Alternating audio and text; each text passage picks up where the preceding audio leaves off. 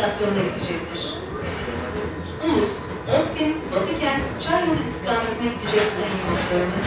15 Temmuz Kızılay Milli Mücadele İstasyonundan metroya aktarma yapabilirsiniz. Gelecek istasyon. Evet.